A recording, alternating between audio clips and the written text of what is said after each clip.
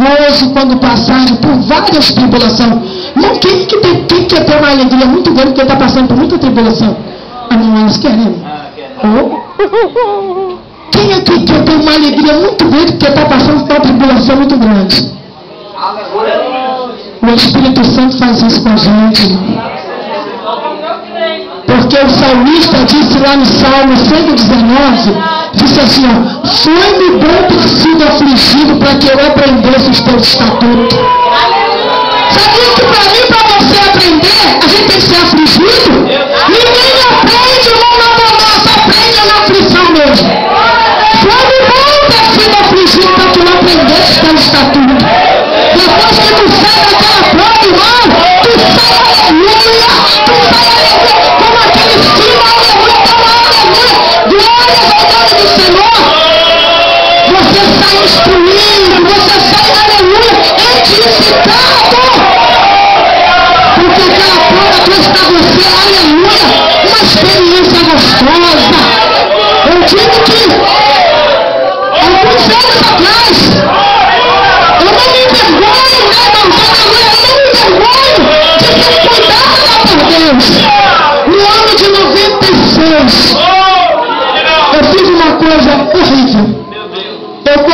modelo dos israelitas.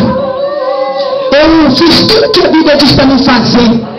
Eu olhei para o vento. Esqueci de olhar para o dono do vento, aquele que tem todo o poder para dizer, vento, mar, aquieta-te. Não, fiquei olhando o vento. Né? Eclesiastes 11 diz que aquele que observa o vento nunca semeará.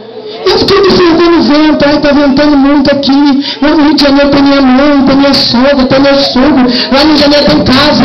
Aqui, ó, lá no meu, meu esposo tem bom emprego, com um salário muito bom. Eu não pagava aluguel porque eu tinha casa. Aqui eu pago aluguel, o salário dele é baixo. Sabe qual é a única carne que eu consigo comer? Aquela que ele passa lá embaixo no açougue, está escrito assim, pelota para cachorro.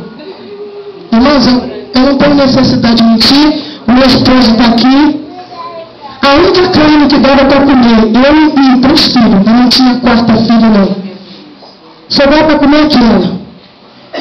E eu observei aquele vento. Ai, eu, Jesus, eu te aceitei, Senhor, sou crente, Senhor, olha aí. Aí que situação, meu filho tem a mesma calça comprida e o mesmo tênis, que vai para a escola de segunda a sexta. Sabe, eu tenho que lavar para ele com a mesma calça e o mesmo tênis no culto de domingo. Ai, Jesus, assim também, olha lá, lá no Rio de Janeiro, meu Senhor, o salário é tão bom, eu comendo muito melhor. Ah, Senhor! Eu só esqueci de uma coisa, irmãos. É melhor obedecer do que sacrificar. Deus te colocou numa situação, suporta.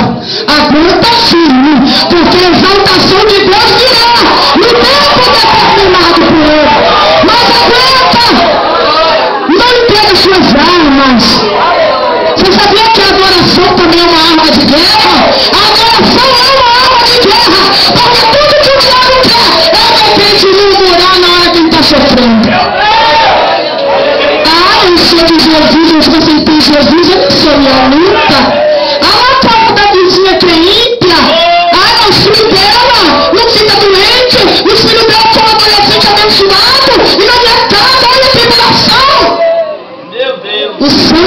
Jesus tem poder.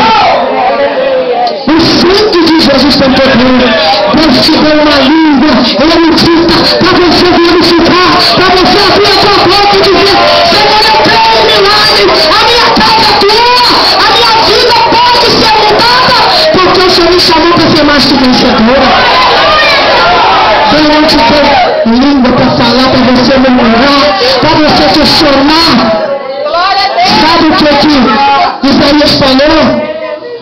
no capítulo 64 parece. E agora, Senhor, nós somos o barro e tu é o olheiro.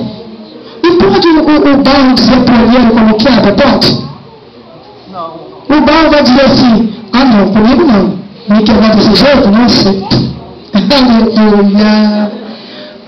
O barro pode falar isso para o olheiro? Ah não, assim não. Desse jeito? Não, Deus. Desse jeito não.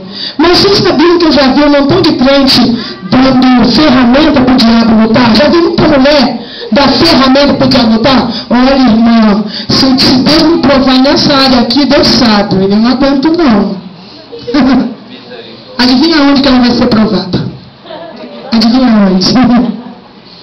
Eu já vi mulheres, é, quando uma outra mulher vem se aconselhar, isso tudo eu já vi. Ô oh, meu irmão, meu esposo, meu irmão, ama uma outra pessoa. E duvido que eu suporto isso. Eu mando embora, não aguento não. Comigo não. Adivinha onde que ela não foi provada? Irmãos, nós temos que aprender a guardar nossos segredos com Deus. O crente tem que guardar o segredo dele. Porque o inimigo da tua alma, ele está o tempo todo ao seu redor, querendo saber aonde está o motivo da tua força. Como é que aquela mulher consegue caminhar?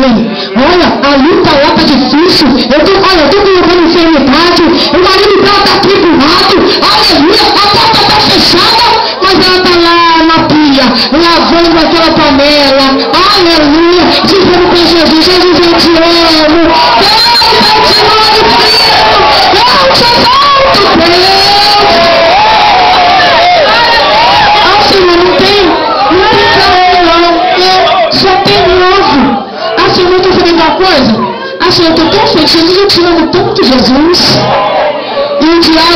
Pregador, dizendo assim, ó, o que que acontece com essa mulher? O que que está acontecendo com ela? O que que é?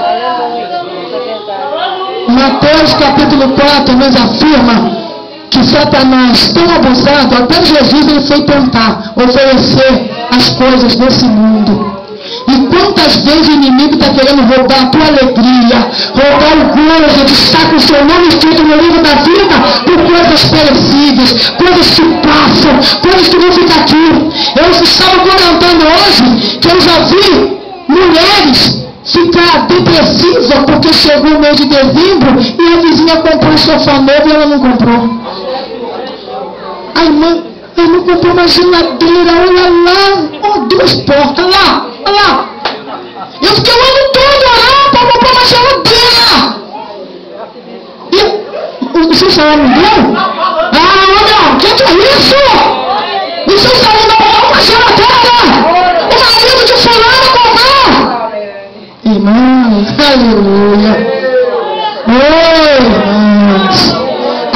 Fala que lá no livro do profeta Joel que Deus é o dono do ouro e o dono da prata. Para de assolar e afligir seu marido ou sua casa. Porque quem pode abrir a porta é Deus. A porta que ele abre, ninguém fecha. Ninguém fecha, ninguém fecha.